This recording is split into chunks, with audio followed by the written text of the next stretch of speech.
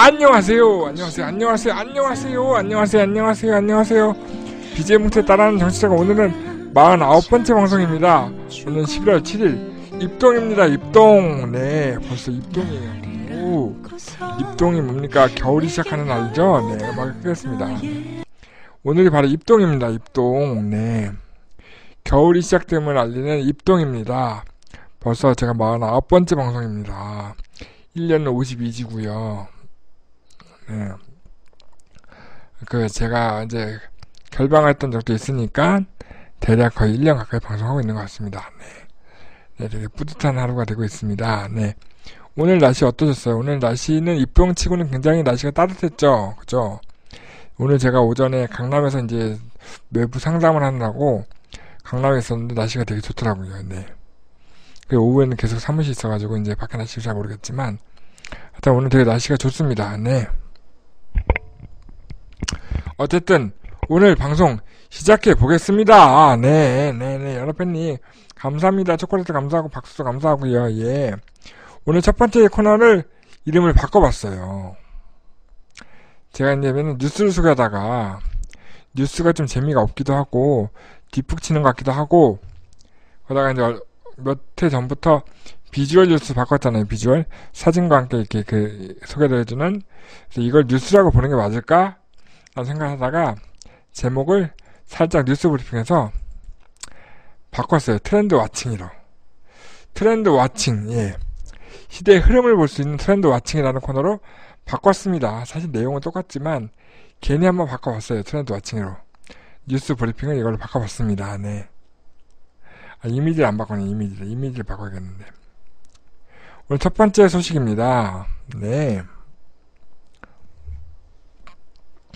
고급지죠, 트렌드 와칭. 예, 맞아요. 좀 고급지게 바꾸려고 애를 썼습니다. 예, 그 여섯 명의 대표님들이 손을 잡고 한 목소리 내겠다고 뭔가 협회를 조직했나 봐요. 네.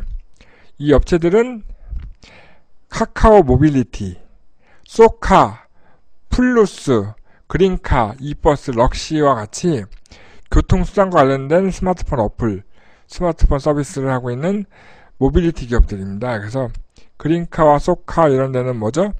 car sharing 하는 업체, 그죠?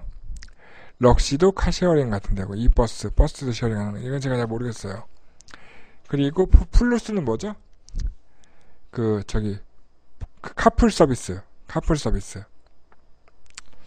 그 차가 있고 핸드폰 있는 사람들 풀러스를 통해서 출퇴근에 카풀을 할 수 있는 걸 돈을 벌 수 있다고 요즘 페이스북 광고 굉장히 많이 하시던데 여기를 이 여섯 개 회사가 카카오에 있는 한, 한남동 오피스, 예, 카카오 한남동 오피스가 있죠, 예. 거기에서 smart mobility 포럼이라는 걸 만들어서 앞으로 이제 자사에 관련된 입장들을 한 목소리로 발표하겠다고 지난 10월, 10월 30일 날 카카오 smart mobility 포럼을 창립했다고 합니다. 앞으로 이제 그 smart mobility 관련된 것들이 많이 좀 어떤 행보를 보일지 되게 궁금해지네요. 네. 감사합니다. 연합팬님. 그 사이에 또 별풍선을 10개 쏴주셨네요. 다음 뉴스는, 다음 소식은요, 이겁니다. 여러분들 스마트폰 갖고 제일 많이 하는 게 뭐죠? 제일 많이 하는 게 셀피, 셀카, 예, 셀카라고 사진 찍는 거죠. 연합팬님은 사진 많이 찍으세요? 그 제가 저도 이제 사실 최근에 아이들 아들과 사진을 많이 찍는데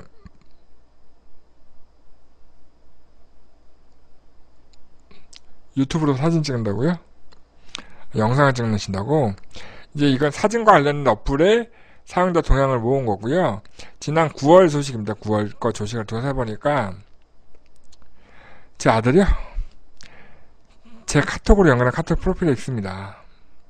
저랑 똑같이 생긴 아들놈이 하나 있어요. 그래도 보고 싶죠? 또 제가 아들 바보인 관계로 다음에 또 보여줍니다. 어딨지 사진이?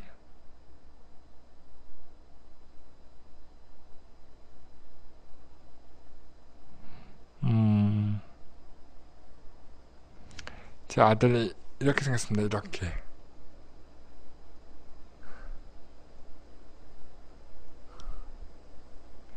잘 보이세요? 네, 제 아들이고요. 10살입니다. 초등학교 3학년이죠. 나 잘생기고요. 아주 귀엽네요. 저랑 똑같죠, 그죠? 예, 맞아요. 똑같아요. 예.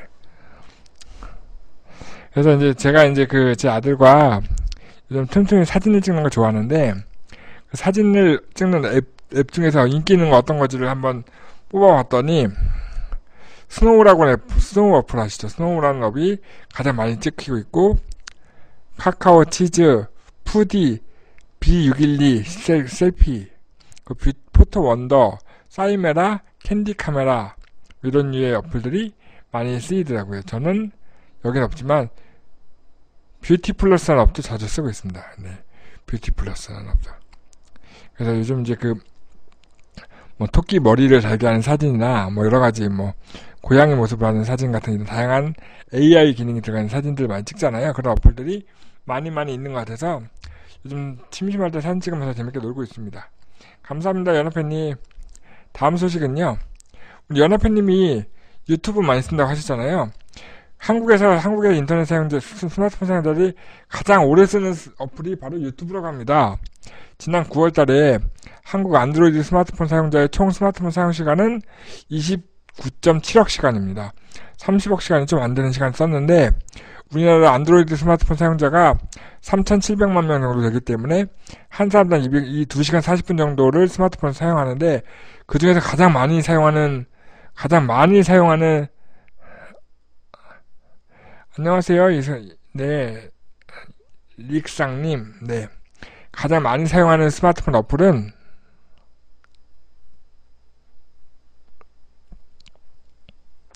사용자 수와 사용 시간이라고 하는 것 같아요. 예. 그냥 제가 보세요. 하여튼 유튜브를 가장 많이 쓰고 그 다음이 카카오톡을 많이 썼고 네. 네이버도 그 다음에 썼고요. 그 다음에 뭐 이런 것처럼 네, 많이 이런 어플을 쓰고 있습니다. 네. 아마 이계상 의원님, 아, 안녕하세요.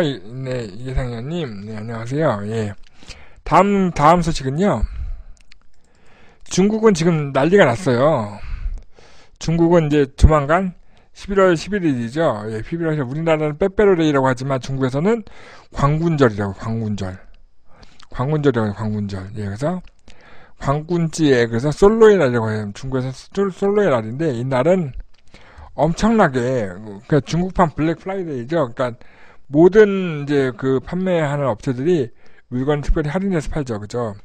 그래서 이 날이 중국에서는 대박이 나는 날이라서 그 중국의 물류 기업인 차이나 차이나 오왕이라는 회사가 중국판 프라이데이인 광군제를 준비하기 위해요. 전용기 유럽으로 배송하기 위해서 전용기 10대를 물류를 배송하기 위해서 계약을 해서 띄우려고 예정을 하고 있다고 합니다. 그래서 그 아랍에미레이트 항공사 같은 여러 항공사하고 계약을 해가지고 순전히 물건을 배서 물건을 이제 배송하기 위해서 비행기 열대를 예약해 놨대요. 중국 애들은 정말 그, 그 스케일이 정말 장난이 아닙니다. 이 광문제과 관련된 소식 또 하나 전해드릴게요. 네. 이제 물건을 배송한 업체가 저렇게 준비하고 있으면 물건을 만드는 업체들도 준비하고 있겠죠. 그래서 여기는 바로 이제 이번에는 중국의 전자제품 만드는 기업 대표님들과 책임자들이 한 자리에 모여서 광군절에 어떻게 보낼 것인가, 어떻게 치를 것인가에 대한 고민들을 이렇게 하는 모임이 있었다고 합니다. 그래서 어떤 회사가 참가했냐면 그 대표적인 물류회사인 징동 그리고 메이디 잘 아시는 하이얼 하이얼 아시죠? 예, 중국 전자제품회사 하이얼 뭐 TCL 하이신 같은 업체들이 다 모여가지고 행사를 어떻게 할 것인지에 대한 대책을 갖다가 하는 거고, 이 이제 광문제 관련해서 온라인과 오프라인의 경계가 없이 어떻게 팔 것인지를 갖다가 같이 한번 팔아보자라고 해서 모여서 이제 하는 거죠. 이제 앞으로는 이런 이제 기업들이 자기네만 먹고 살겠다 이런 게 없어요. 다 같이 먹고 살자라고 해서 준비를 한다고 합니다. 이분은, 사실 이분은 증동의 대표입니다. 네. 잘생기셨네요. 네. 다음 소식은요, 네.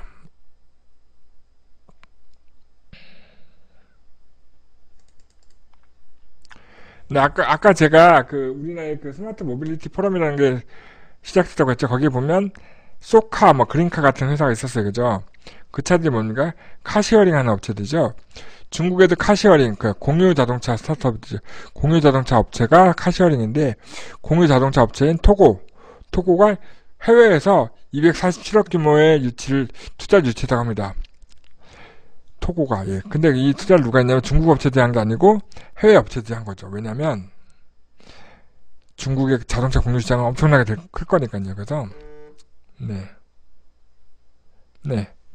이제 약 그 약 247억 그원 규모의 해외 투자를 중국의 토고라는 스타트업 업체가 카시어링 업체가 투자 유치했다는 소식을 전해드렸고요.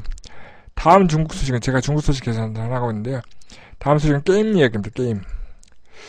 그 텐센트라는 회사의 게임인데요. 왕자영요라는 게임이에요. car sharing 우리나라 불법 아닙니다. 우리 이제 길거리 다니다 보면 쏘카 많이 보죠. 쏘카, 쏘카, 그린카 이런 차도 많이 보셨죠? 다 car sharing 업체예요. 예.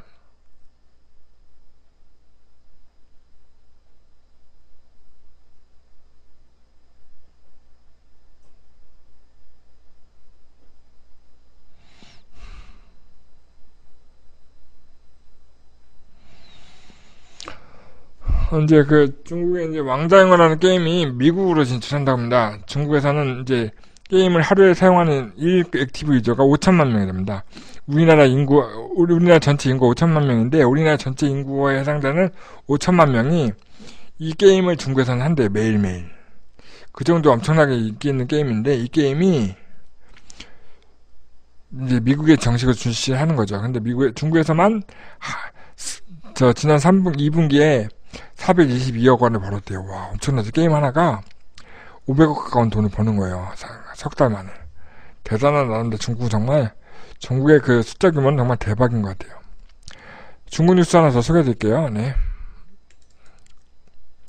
중국의 대표적인 건설회사예요. 예, 그, 이제, 부동산 기업이죠. 예.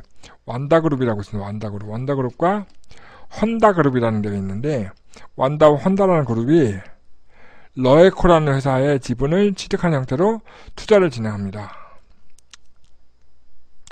그러니까 이제 한국 얘기 다섯 개, 중국 얘기 다섯 개 이렇게 하려고요. 최근에 이제 벤처 쪽에서는 중국이라는 나라를 무시하고 할 수 있는 게 아니어서 이 러에코라는 회사는요. 혹시 러티비라고 들어보셨어요? 러티비? 러티비라고 약간 이제 중국판 유튜브 같은 서비스인데 옛날에 이제 그 이제 우리나라 드라마 같은 것들을 중국에서 보려고 그러면 중국의 유튜브인 러티비 같은 많이 볼 수 있죠. 그죠? 돈 내고 보는 그런 유튜브 서비스인데 얘네가 사실 1위는 아니어가지고 한 2위인가 3위 정도 되는 회사인데 되게 힘들었어요. 힘들었는데 완다그룹과 헝다그룹이 여기에 투자를 하면서 이제 좀 숨통이 트였죠. 그래서 완다그룹은 완다그룹 회장의 그 이제 그 손자가 그 이제 약간 이제 그 문화 컨텐츠에 관심이 많아가지고 그 한 2, 3년 전에 한국에 들어와서 한국의 컨텐츠 기업들한테 투자하려고 애를 많이 썼던 것 같아요. 근데 이제 한동안 사드 때문에 잠깐 물 건너갔다가 최근에는 중국하고 이제 그 관계가 많이 좋아지고 있죠. 그래서 이제 중국하고 일하는 쪽에 좀 하나씩 풀려가고 있는 것 같습니다. 그래서 중국의 완다그룹과 헌다그룹이 러이코에 투자를 하게 됐다라는 얘기 있었고요. 마지막으로 중국 얘기 하나 더 하고 끝낼게요. 예. 어플인데 중국판 어플인데 혹시 이 어플 아세요? 콰이소우라는 어플이고요. 예. 약간 이제 인스타 같은 건데 인스타그램은 이제 사진 올리는 건데 콰이소우는 영상 올리는 거예요. 영상. 중국의 라이브 방송인 영상 공유 서비스인데 콰이소우라는 어플이 있는데 이게 이제 한국에서 인기를 끌고 있습니다. 한국. 왜 한국에서 인기를 쓰냐면 수지, 아이유 같은 연예인들이 이 어플을 쓰는 것 같다는 게 알려지면서 저도 깔았고 많은 인들이 깔죠. 많은 사람들이 깔고 있고 중국에 알리고 싶어하는 한류 한국 연예인들이 중국의 인지도를 높이기 위해서 이 어플을 쓰고 있죠. 그래서 잠깐 잠깐 이렇게 이제 중국말 한, 한두 마디를 해서 올리면 그게 대박이 나요. 그래서 한국에서 쉽게 볼 수 없는 재미난 짤, 이제 움짤 영상들이 화이소우에 되게 많이 있습니다. 그래서 이제 연예인들 영상을 보는 것 뿐만 아니라 짝퉁이라고 보기 좀, 인스타그램은 사진이고 여기는 영상이라니까요. 짝퉁은 아니죠. 예. 되게 재밌어요. 그리고 영상을 만드는 기술이 되게 재밌고 뛰어나서 콰이소우에서 영상을 만들어서 올리기도 합니다. 맞아요. 사실 이 세상에 완벽한 완벽한 재창조라는 건 없기 때문에 다 벤치마킹에서 베꾸는 거죠. 예. 인스타그램 영상 올리는데 여기는 영상을 전용으로 올리는 거예요. 영상을 되게 소우처럼 재미난 영상 올릴 수 있어요. 대사도 들어가고 되게 요즘 인기 있는 어플입니다. 여기 되게. 한번 보시면 뭐 얼굴도 막 이렇게 일그러지게 하고도 되게 재밌는 영상 올릴 수 있는 어플입니다. 한국 앱스토어에서도 되게 인기가 있는 콰이소라는 어플이고요. 한번 깔아보시면 되게 재밌을 것 같아요. 예. 네, 이제 중문 얘기 그만하고요. 이번엔 협회 얘기를 하겠습니다, 협회. 저 협회 뉴스를 하나 소개할게요. 저 협회 그 진행하고 있죠. 저 협회가 협회가 그 이제 지원한 사업을 다들 2018년형으로 바꿨어요. 예. 지난주 방송까지만 해도 2017년도 성호 보장형 무상한 정치자금 조달 맞춤 컨설팅 지원 사업을 했다고 하면 이번부터는 2018년, 2018년입니다. 2018년도 사업을 공부하고 진행하고 있습니다. 벌써 내년이죠. 2018년도. 예. 지금 현재는 과제가 좀 많이 끝나서 다들 이제 그 내년 과제를 준비하고 있는데 바로 한 달 뒤면 12월이면 저 1월 달 마감인 과제가 나올 거예요. 그래서 이제 다들 이제 과제를 제출할 수 있는 준비를 저는 한 건, 두 건, 뭐 정도 했죠, 예.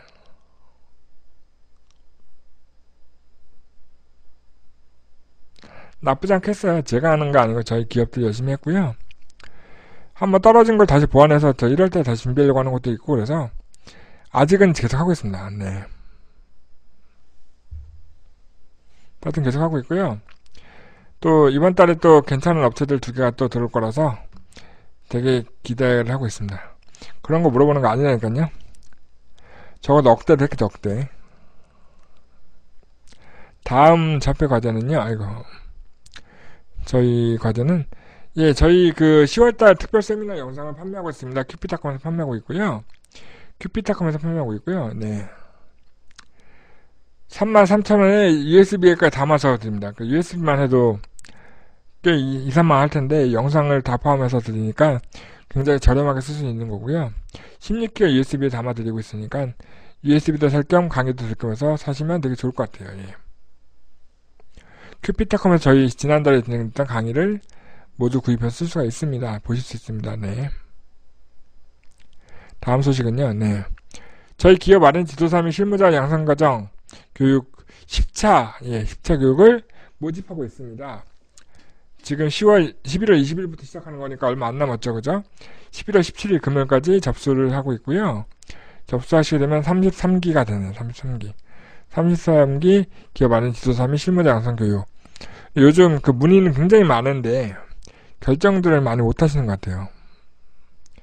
기업 안는 지도사 양성 강의는 영상을 안 판매 안 합니다. 네. 와서 들으셔야 합니다. 이건 무조건. 지방에, 그러니까 이번에 신청하신 분 중에 대구에서 오시는 분이 계시고요. 지방에서 다 와서 들으세요. 네.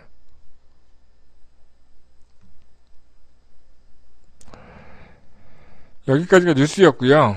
네.